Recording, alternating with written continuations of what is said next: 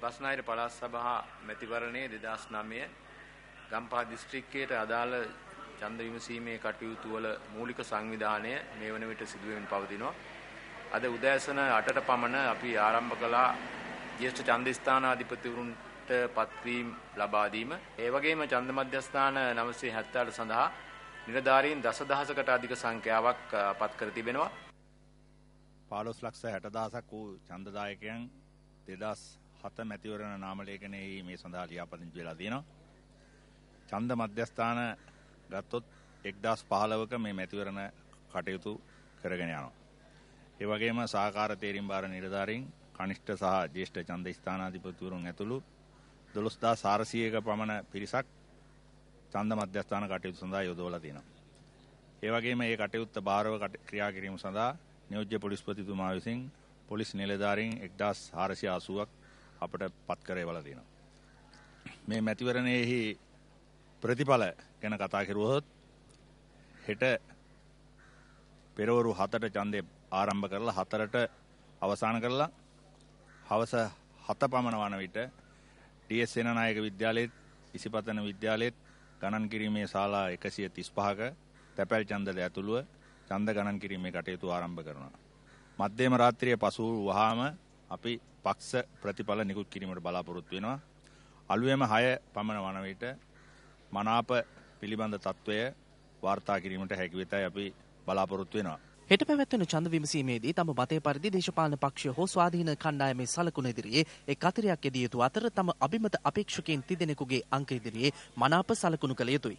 ඡන්දදායකයාට මනාප තුනක් සලකුණු කළ හැකි අතර එක් අපේක්ෂකයෙකුට ලබා දිය හැකි එක් මනාපයක් පමණක් බව මැතිවරණ මහලේකම් කාර්යාලය පවසනවා. ඡන්දය භාවිත කිරීමට හැඳුනුම්පත අනිවාර්ය කර තිබෙන අතර වළංගු විදේශ ගමන් බලපත්‍රය, රියදුරු බලපත්‍රය, දුම්රිය වාර ප්‍රවේශ පත්‍ර හැඳුනුම්පත, විශ්‍රාම හැඳුනුම්පත, වැඩිහිටි හැඳුනුම්පත, භික්ෂු හැඳුනුම්පත හෝ తాවකාලික හැඳුනුම්පත් භාවිත කළ හැකියි. බහුලයාපදිංචි ඇති චන්දදායකයන් පිළිබඳව ඒ ප්‍රදේශයේ සෑම චන්දපොලකම ඇති චන්දහිමි නාමලේඛනයේ සටහන් කර ඇති බව අතිරේක මැතිවරණ කොමසාරිස් WP සුමනසිරි මහතා පැවසුවා. මේ අතර මැතිවරණ ප්‍රතිඵල ඡන්ද කොට්ටහස තැපැල් ඡන්ද සහ දිස්ත්‍රික් වශයෙන් නිකුත් කිරීමට නියමිතයි. අතිරේක මැතිවරණ කොමසාරිස් WP සුමනසිරි මහතා සඳහන් කළේ ඡන්දපොළ තුළට ඇතුළු වීම සඳහා මෙවර අවස්ථාව ලැබී ඇත්තේ නිරීක්ෂණ කණ්ඩායම් දෙකකට පමණක් බවයි. බස්නාහිර පළාත් සභා ඡන්ද විමසීමට අදාළව මැතිවරණ කොමසාරිස්වරයා වෙත යොමු කරන පැමිණිලි සඳහා දුරකථන සහ ෆැක්ස් අංක කිහිපයක්ද ප්‍රකාශයට පත් කර තිබෙනවා. එම අංක වන්නේ 2.877යි 608 දෙකයි අටසිය හැත්ත හතයි හයිසිය නමේ සහ දෙකයි අටසිය හැත්තෑ හතයි හයිසිය දහයයි. මේ අතර බස්නාහිර පලාතේ සියලු ප්‍රදේශ ආවරණය වන පරිදි විශේෂ ආරක්ෂක වැඩපිළිවෙලක් ක්‍රියාත්මක බව පොලිසිය පවසනවා. බස්නාහිර පළාත් සභා ඡන්ද විමසීමට තවත් ඇත්තේ පැය කිහිපයක් පමණයි. බස්නාහිර පළාත් සභා මැතිවරණයේ පැවැත්වෙන කොළඹ කළුතර සහ ගම්පහ යන දිස්ත්‍රික්ක තුන පිළිබඳව විමසා බැලීමක් නේ. වර්ෂ 1988 දී පළාත් සභා ක්‍රමය හඳුන්වා දීමෙන් පසුව බස්නාහිර පළාත් සභාවේ මෙවර පැවැත්වෙන්නේ පස්වන පළාත් සභා මැතිවරණයයි. 1988 වසරේ පෙබරවාරි මාස 5 වනදා අංක 491 ඇල ඉරක් 1.7 දරන ගැසට් නිවේදනයෙන් පළාත් සභාවක සිටිය යුතු මන්ත්‍රී සංඛ්‍යාව තීරණය කෙරුණා. ඒ අනුව බස්නාහිර පළාත් සභාවට මන්ත්‍රී ආසන 104ක් තීරණය වුණා.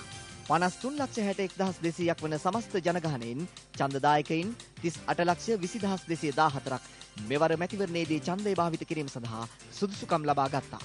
පෘතුගීසි ලන්දේසි සහ ඉංග්‍රීසි පාලන සමයේ සිටම රටේ වාණිජ්‍ය නගරය ලෙසින් කොළඹ නගරය ප්‍රකට වුණා. ඒ කොළඹ වරාය නාවික ගමන් මාර්ගය හරහා වැටී තිබීම හේතුවෙන්. සීතාවක සහ කෝට්ටේ රාජධානී කොළඹ දිස්ත්‍රික්කයේ ඓතිහාසිකත්වයට සාක්ෂි සපයනවා.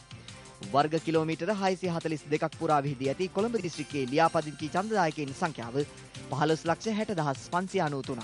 සබිකයින් 43 දෙනෙකු කොළඹ දිස්ත්‍රික්කයේ වෙනුවෙන් තෝරා ගැනීමේ දේශපාලන පක්ෂ 15කින් ඉදිරිපත් වන අපේක්ෂකයින් 782 දෙනෙකු සහ ස්වාධීන කණ්ඩායම් 10කින් ඉදිරිපත් වන අපේක්ෂකයින් 598 දෙනෙකු අතුරින් මැතිවරණය සඳහා දිස්ත්‍රික්කයේ තුල ඡන්ද කොට්ටාස 15ක ස්ථාපිතව ඇති ඡන්ද මධ්‍යස්ථාන සංඛ්‍යාව 834ක්.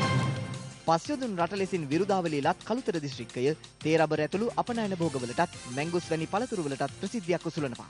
සංචාරක කර්මාන්තය දීවර කර්මාන්තය සහ ගොවිතැනද මෙහි ජීවනෝපාය මාර්ග අතරින් ප්‍රධානයි.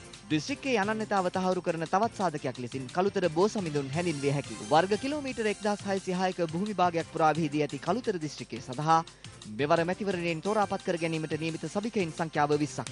ඒ සඳහා දේශපාලන පක්ෂ 8කින් අපේක්ෂකින් 230 දෙනෙකු සහ ස්වාධීන කණ්ඩායම් පහකින් අපේක්ෂකින් 138 දෙනෙකු ඉදිරිපත්ව සිටිනවා. ඡන්දදායකින් 8,1326කට ඡන්දය භාවිත කිරීම සඳහා ඡන්ද කොට්ටාස 8ක ස්ථාපිත කර ඇති ඡන්ද මධ්‍යස්ථාන සංඛ්‍යාව 523ක්. රටේ ජාතික ආර්ථිකයට සුවිශේෂී දායකත්වයක් සපයන දිස්ත්‍රික්කයේ ලෙස ගම්පහ දිස්ත්‍රික්කය හැඳින්විය හැකියි. කටුනායක සහ බියගම ආයෝජන ප්‍රවර්ධන කලාප බණ්ඩාරනායක ජාත්‍යන්තර ගුවන්තොටුපළ